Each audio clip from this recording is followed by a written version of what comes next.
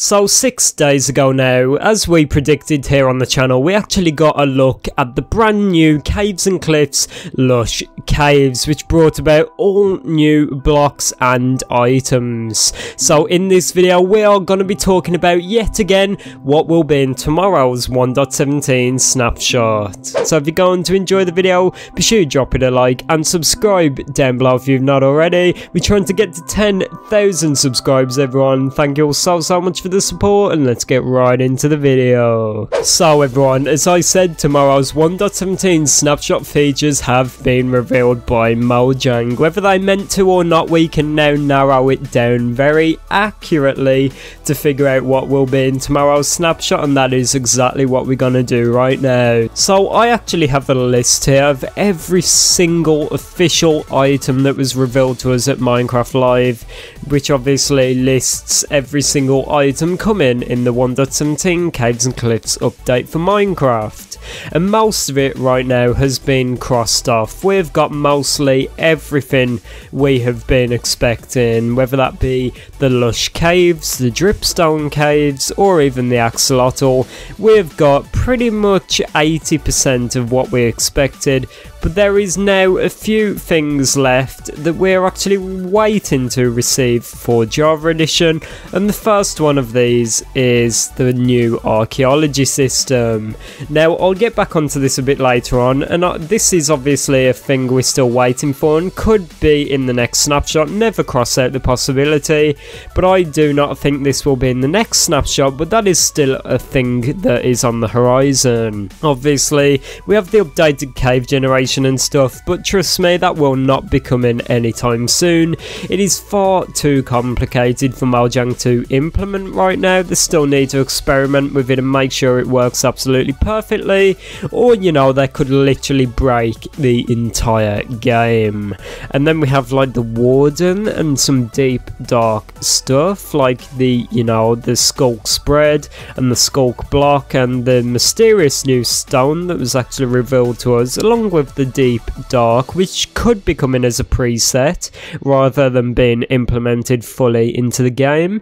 And I believe, everyone, this is by a million miles the most likely. And I've talked about this for a few weeks in a row now, everyone. And you know, unfortunately, we have actually missed out on quite a few snapshots to begin this year, but not to worry, we are getting one tomorrow. But I think that the most likely is the Warden because we actually got a tease from King B. Dogs not too long ago saying what do you think this is? This is a little hint. And basically on the video sound it sounded like some kind of deep dark ambient sound effects and then he actually says, you know, it's not the warden, it's the deep dark, hint hint, nudge nudge. So yeah, basically I think that's something to do with the deep dark, whether that just simply be Sculk and Sculk spread and the mysterious stone that was shown to us at Minecraft Live.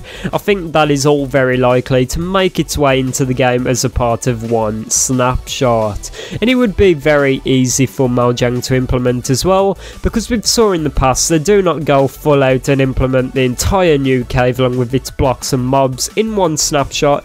They like to break it up and first off give us the blocks and then maybe a mob next week and then maybe a few months down the line it will be fully implemented into the world. So I do strongly believe that tomorrow we could be seeing something to do with the Deep Dark, you know, whether it be the Warden or just the, the Sculk block or the Sculk growth. I think it is so, so likely. Now let's go back to archaeology for a second.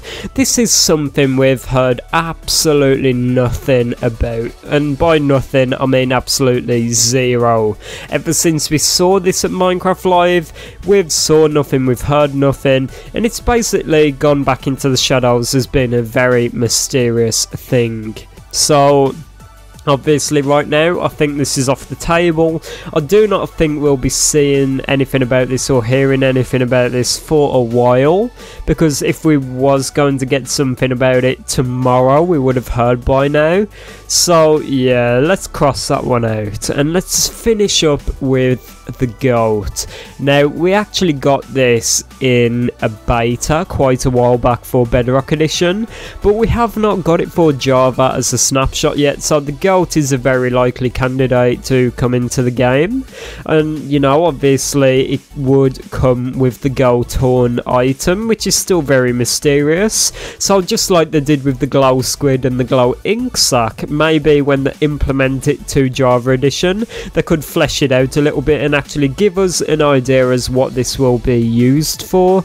But yeah, I think that would be very exciting. So to finish up everyone, I think tomorrow we will either be getting the GOAT along with the GOAT horn and maybe some mountain related items or we will be getting the Warden which I do not think we will until later on but the most likely thing I think we'll be seeing is something to do with the deep dark, whether that be Sculk, the Sculk Growth, or the Mysterious Stone Block.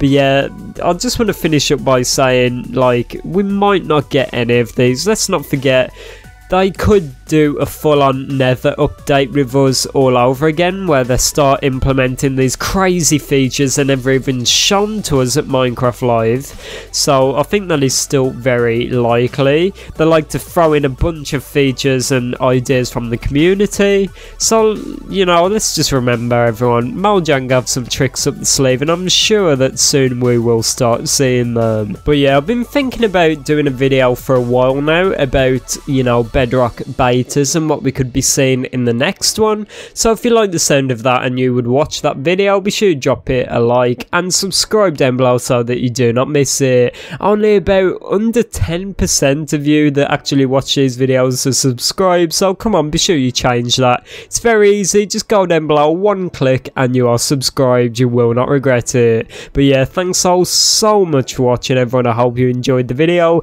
I have a bunch of exciting content coming up for you all. So, you know, as I said, click that subscribe button and you will not miss it. You can also check us out over on Twitter and Discord. There'll be links for both in the description, everyone. But yeah, I just want to finish up by saying thank you all so, so much for the support. I never, ever thought I would reach 8,000 subscribers. But you know, we made it, everyone. Let's get to 10 thousand that would be absolutely insane. But yeah if you made it this far into the video thank you so so much everyone. I really appreciate it and i'll see you all tomorrow with another video. Goodbye